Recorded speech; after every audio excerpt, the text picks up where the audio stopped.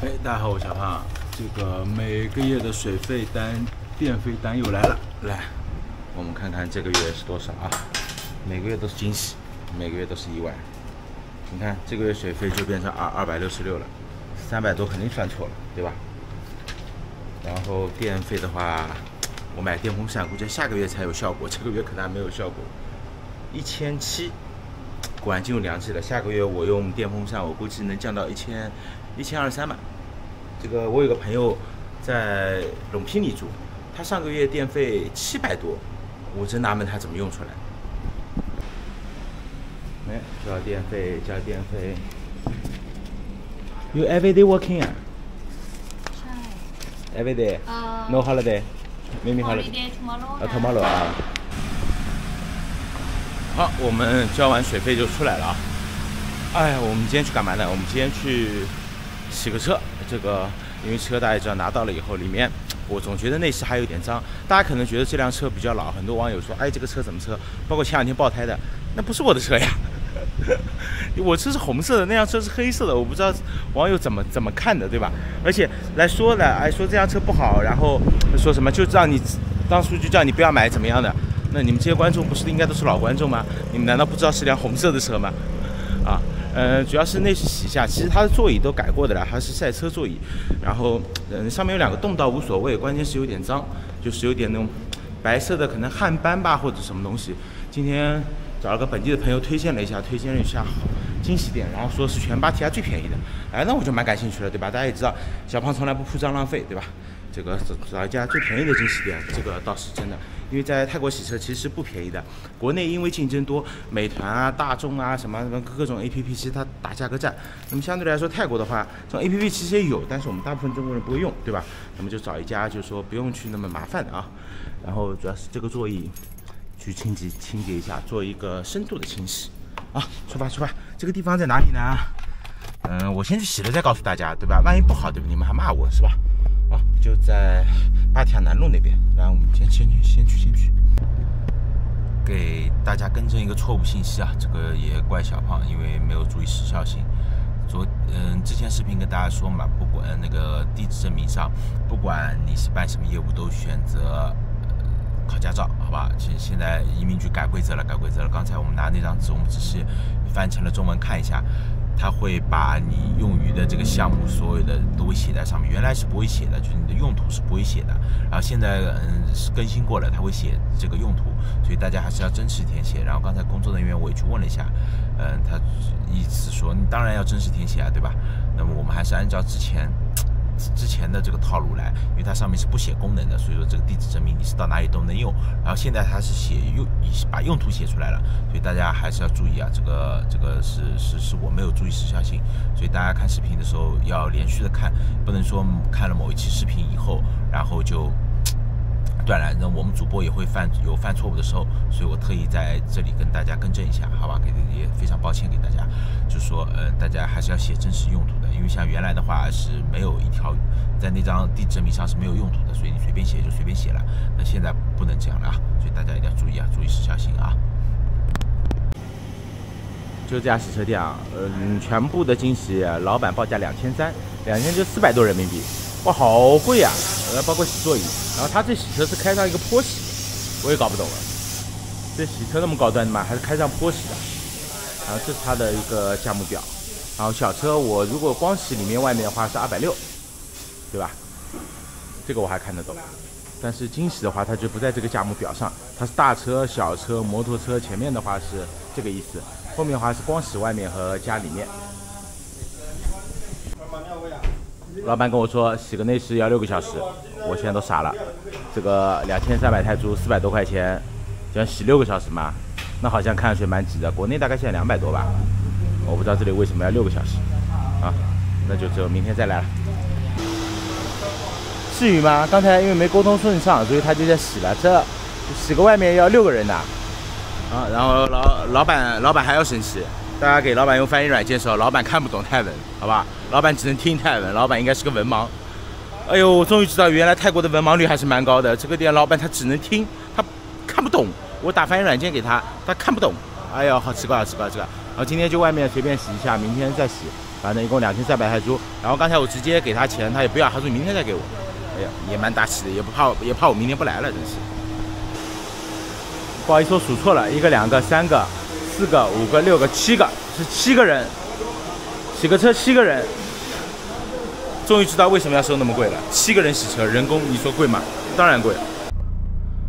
再给大家说个泰国人的最绝的一个奇葩思维啊，对吧？那原则上我这样洗的话，那今天这次洗车应该是不要钱了，对吧？反正我明天过来一起搞掉了，反正一共两千三百铢。他说，哎不行，今天洗车是洗车钱，明天两千三只洗里面不洗外面。我我我真的人都醉了啊！这泰国人这个真不会做生意，这个是我们太灵活了呢，还是他们太死板了呢？这个问题值得深思啊。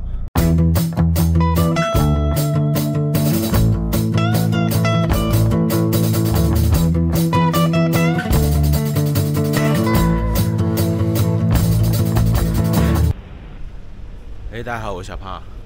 今天要干嘛去？是我在巴觉得我在芭提雅那么久，我最讨厌的一件事情就是剪头发，在泰国剪头发真的是，哎，算了，还是去上次那家店吧。我就上次烧一铺烤那家店三百铢还行，芭提雅那家唐人已经关门了，那家店收六百铢，我觉得剪了一般般。然后很多人建议我去大胸妹那家，呃，我没去过，但是怎么说呢，就是。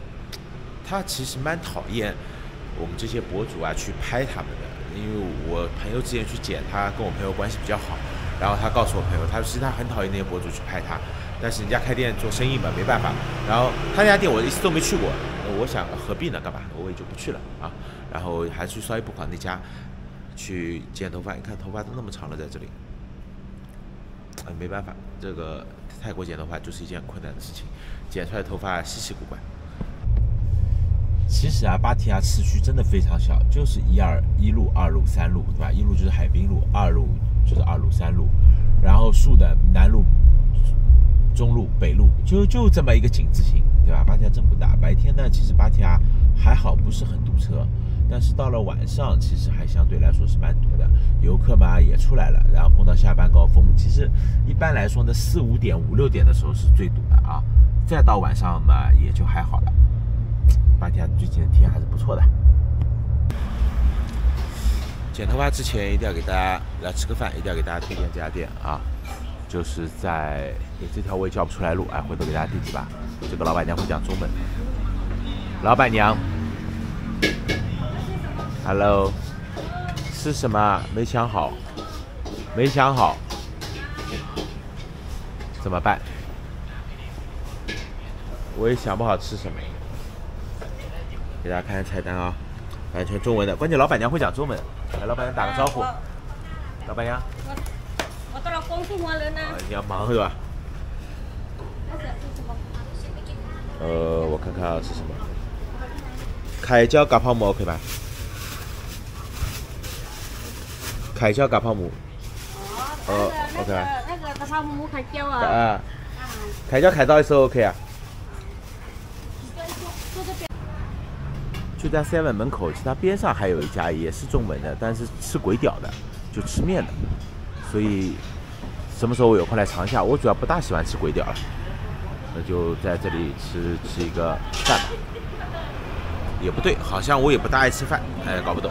反正我不知道为什么，就吃鬼屌总觉得，哎，说不上来。它可能里面的这种香料啊，或者说那些菜加太多了，然后相对来说吃吃这个什么什么饭啊、嘎泡馍啊这种就比较。符合中国人的口味一点啊，反正我是没有把它当做泰餐吃，我就把它当做中餐吃。啊，谢谢老板娘。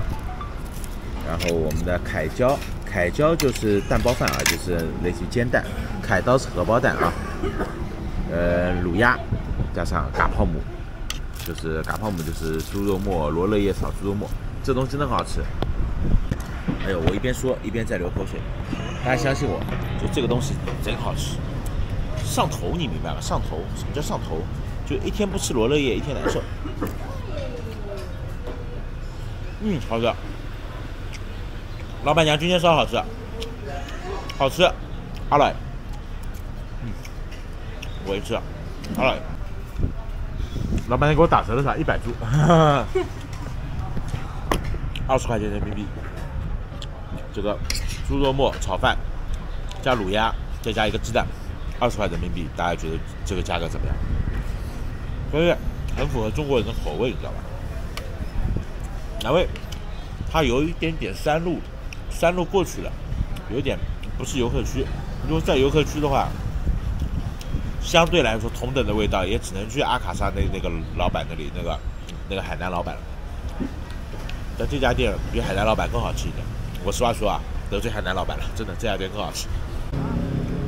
什么叫光盘行动？老板娘太好吃了，我看我都吃完了。啊！哇，剪头发去了，剪头发去了。哎呦，好黑啊，这个角度。嗯，剪头发去了。每次剪完头发，都觉得这个不是我自己。我突然想到一个事情啊，就是给狗狗，大家如果家里有养宠物的知道，给狗狗剪完头发以后，狗狗一般都都都要适应好几天，都看不惯自己，又觉得自己长得好丑。我现在这样状态。然后剪完头发以后又碰到下雨，只能躲在这个夜市的雨棚里面。哎呦，我的天哪！真的，我总感觉自己真真真衰，真背，你知道吧？就运气真不好。哎，剪了头发呢，每次都不一样。哎，那个理发师上次剪的蛮好的，这次给我剪的跟狗一样。你看前面，我回去自己再还再补两刀。哎呦我的天哪！你要等雨吧？芭提雅雨季过了，但不知道为什么最近还在下雨，看不懂啊，看不懂，看不懂。